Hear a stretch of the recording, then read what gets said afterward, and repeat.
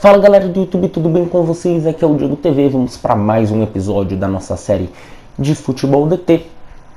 Hoje para eu fazer um comentário, dar a minha opinião sobre uma, uma polêmica, vai, vamos dizer, Cristiano Ronaldo ou Pep Guardiola nessa Champions 18-19, quem decepcionou mais? O Bruno Formiga do Esporte Interativo, na minha opinião, um comentarista muito bom, muito inteligente, é, esperto, galera, para mim um, um cara muito, muito bom, fez essa. falou sobre isso no quadro Polêmicas Vazias, deu a, entre aspas, vitória para o Guardiola, né? Vitória no sentido negativo, considerando que ele decepcionou mais.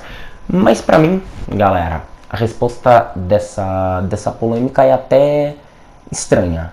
Nenhum dos dois decepcionou. Nenhum dos dois. Não tem como falar quem foi pior. Porque para mim nenhum dos dois decepcionou em quase absolutamente nada. Né? E aí vamos lá, vamos para os argumentos. A coisa óbvia, né? A Juve é um time com ou sem Cristiano Ronaldo muito bom. Tanto é que a gente vê na, nas últimas temporadas, apesar da Juventus não ter sido campeã da Champions em nenhuma, ganhou todas as, as ligas italianas, a Série A, né? É, italiana. Pra quem vai falar, ah, mas é óbvio que a Série A, sim, eu falo Série A porque é o nome da, da competição, né?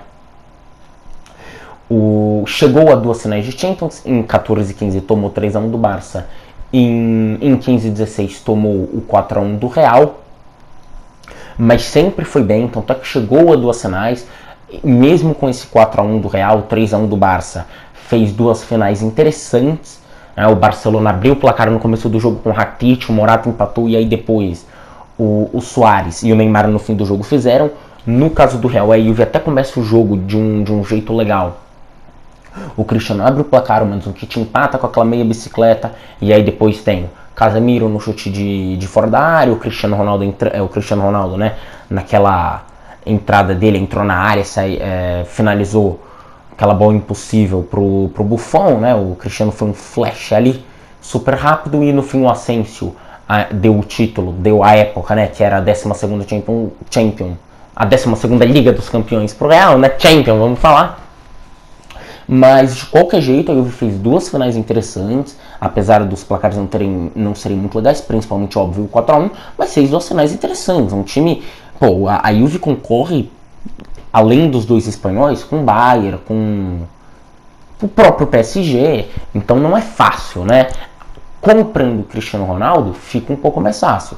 A Juve, que já era um time muito bom, torna-se um, torna candidata a virar um time excelente não virou, mas fez um papel interessante.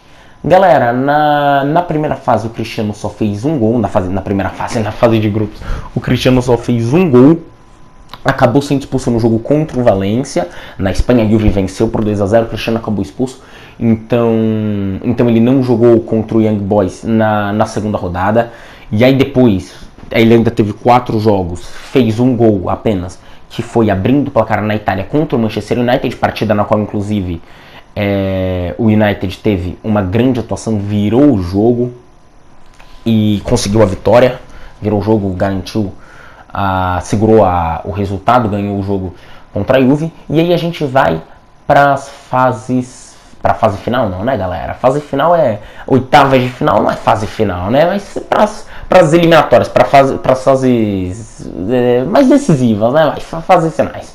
O Cristiano, galera, com a Juve, ele ele faz todos os gols do time nessa nessa segunda fase, né, de, de Champions não faz no primeiro a Juve não faz um grande jogo contra o Atlético de Madrid, toma dois gols ali em bola parada, Godin, Jimenez, acaba tomando 2 a 0, depois faz um hat-trick bem interessante contra o Atlético de Madrid, dois gols de cabeça, um de pênalti, mas com uma atuação interessante, um jogo épico, um jogo difícil.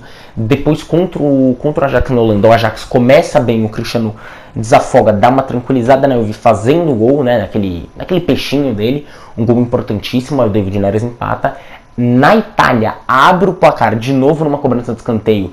De novo numa cobrança de escanteio não, né? De novo de cabeça, agora numa cobrança de escanteio. Vai faz o gol. E aí depois com o Van de Beek e o Delite, Matthews Delite, a, o Ajax vira contra a Juve e se classifica. Galera, não dá para falar que o Cristiano Ronaldo decepcionou. Apesar dele na fase de grupos não ter ido tão bem, e a gente até dá um desconto porque a Juve de qualquer jeito criou condições tranquilas para se classificar, não que ele não devesse ter feito mais, mas fase de grupos ainda, pô, o cara percebe, ah, o time tá bem, tá, então não é uma cobrança tão necessária em cima dele. E, na, e nas oitavas, quartas, semifinais, semifinais, final, fase decisiva, o cara correspondeu muito. Fez cinco gols pra Juventus,